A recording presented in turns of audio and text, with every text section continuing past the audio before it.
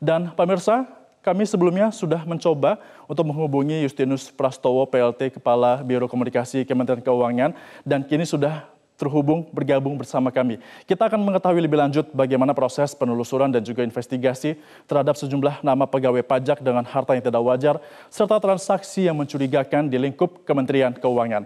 Kami sudah tersambung dengan Pak Pras. Halo, selamat siang Pak Pras. Selamat siang Mas. Baik, Pak Pras, tadi saya sudah jabarkan.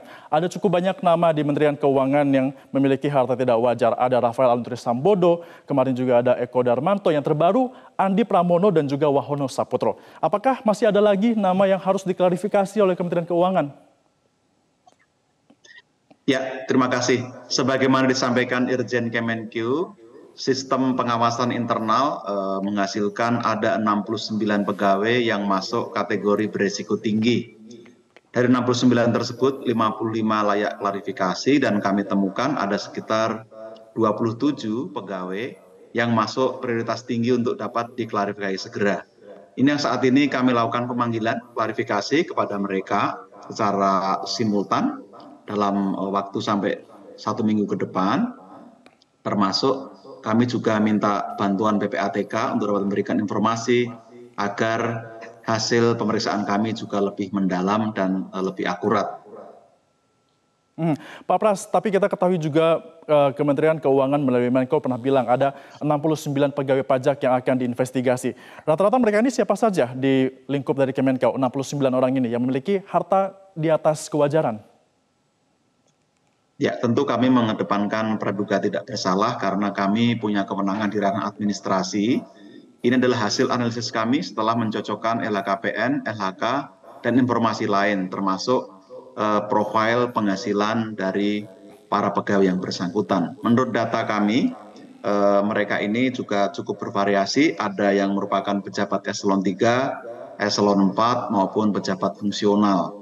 Jadi kira-kira persebaran seperti itu nanti kita dalami lagi dan akan kami hmm. sampaikan ke publik bagaimana perkembangan pemeriksaannya akan mendalami. Pak Pras, KPK ini juga menemukan ada sebanyak 134 pegawai di Dijen Pajak yang memiliki saham di 280 perusahaan. Bahkan juga istri-istri mereka termasuk salah satunya adalah istri dari Wahono, pra, Wahono ini memiliki saham juga di perusahaan dari milik Rafael Aluntri Sambodo. Apakah ini juga sudah ditelusuri oleh pihak dari Kementerian Keuangan? Ada 100 34 yang memiliki saham di 280 perusahaan. Bagaimana?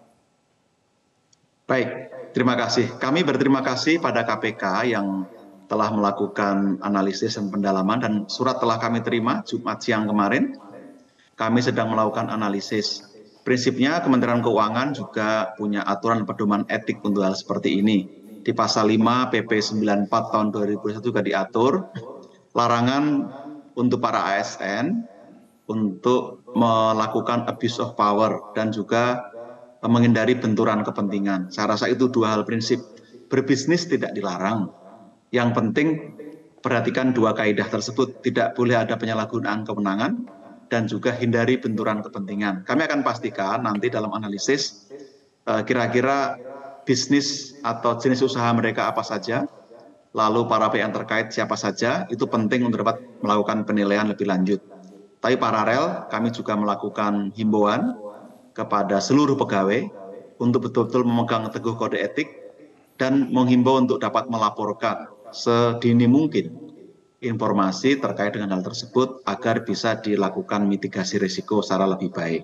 Prinsipnya kami akan ikuti aturan, bila ada penyimpangan tentu akan kami tindak, tapi bila itu sudah sesuai dengan aturan tentu kita juga harus fair, itu adalah hak dari setiap warga negara dan termasuk ASN. Hmm. Kalau misalnya ada kecenderungan bahwa ini ada ketidakwajaran, tadi Anda katakan ada mitigasi eh, resiko yang sudah dilakukan. Seperti apa yang akan dilakukan? Ya, kami terus berkoordinasi dengan para pihak, KPK dan lain-lain, termasuk dengan uh, Dijen AHU Kementerian Hukum dan HAM ya untuk dapat memperoleh informasi terkait dengan kepemilikan saham. Kami juga terus melakukan penegakan kode etik, membuka whistleblowing system untuk mendapat laporan dari masyarakat, dari para yang merasa dirugikan, sehingga kami bisa melakukan pencegahan lebih awal. Nah, kami lihat secara sekilas dari sejumlah perusahaan tersebut, sebagian besar kan eh, kami lihat usaha-usaha yang tidak terkait dengan tugas dan fungsi sebagai pegawai di Kementerian Keuangan. Kalau disebutkan kemarin oleh Pak Pahala ada yang konsultan pajak, tentu ini hal yang beresiko terjadi benturan kepentingan. Akan kami dalami apakah perusahaan nanti aktif, siapa yang terafiliasi, pendapatan dari mana, itu penting untuk memastikan langkah-langkah berikutnya. Hmm. Pak Pras, terkait dengan harta kekayaan dari masing-masing pegawai pajak yang menjadi sorotan dari masyarakat, ini adalah apakah mereka sudah melaporkan LHKPN atau belum? Nah, sampai dengan sekarang, sudah berapa persen yang sudah melaporkan, Pak Pras? Sampai saat ini sudah 99,9 persen pegawai Kemenkyu melaporkan LHKPN ke KPK.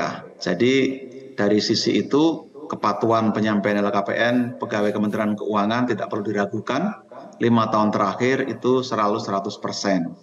Nah harapannya ini juga menjadi hal yang baik, kami bisa pertahankan, termasuk secara substansi atau material, kami juga hmm. ingin dan terus mendorong supaya pelaporan ini tidak bersifat formalitas, tapi melaporkan apa yang sungguh-sungguh menjadi eh, harta, penghasilan maupun kewajiban dari para pegawai tersebut.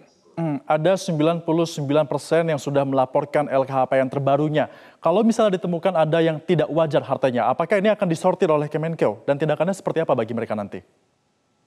Ya, sistem di Ijen Kementerian Keuangan bekerja dengan cukup baik. Seperti yang saya sampaikan, dapat mendeteksi kemarin ada 102 yang eh, diduga tidak sesuai profil, lalu kita klarifikasi lagi ada 69 55-nya adalah layak untuk diklarifikasi. Sistem terus bekerja seperti itu, tentu akan ada alert, akan ada eh, sinyal-sinyal uh, kalau terjadi ketidakwajaran atau ada yang perlu diwaspadai. Karena kami juga mengintegrasikan dengan variabel lain, termasuk laporan dari masyarakat, pemantauan media sosial, profiling uh, keluarga, dan sebagainya.